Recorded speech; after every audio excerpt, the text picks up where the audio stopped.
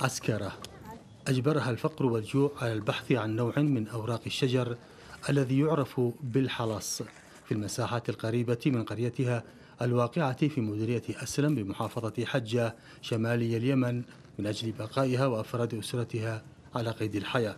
الوضع في أسلم وصفه عاملون في المجال الإنساني بالكارثي بعد أن وصل الحال بالمواطنين هناك إلى حد المجاعة ناهيك عن الأمراض وسوء التغذية التي أصابت عددا كبيرا من الأطفال والنساء في هذه المديرية. ننزل الوادي نجيب حلص نخمده ونتعشى فطور منه وغدا منه وعشاء منه. أسرع وقت علينا لأن نموت. جوع بعض الأوقات نجلس من أسبوع نجلس من خم... 15 ما يدخل الدقيق في بيتنا. مدينة الحديدة التي تحد محافظة حجة من الناحية الجنوبية والتي تشهد مواجهات بين الحين والآخر بين قوات الرئيس سادي وقوات صنعاء هي الأخرى ترزح تحت ألوان شتى من المعاناة.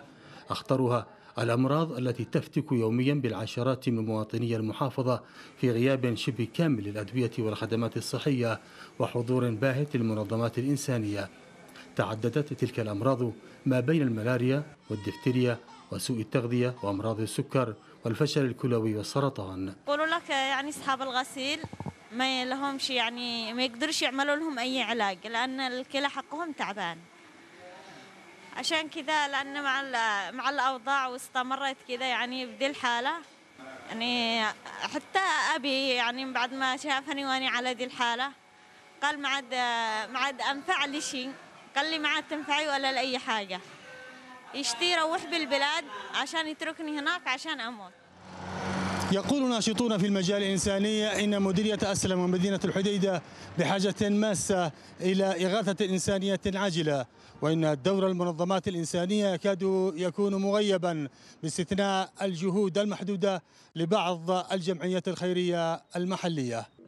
وعلى الرغم من النداءات والمناشدات التي تطلقها الحكومة وبعض المنظمات الإنسانية خاصة المحلية منها إلا أن التجاوب لا يزال في حدوده الدنيا بالنظر إلى حجم المأساة الإنسانية التي تشهدها مديرية أسلم بحجة ومحافظة الحديدة ومحافظات أخرى.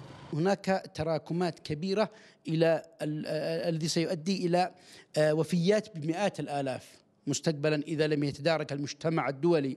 والدول الحرة في العالم الوضع في اليمن سيتكلمون فيما بعد على مئات الآلاف من الوفيات.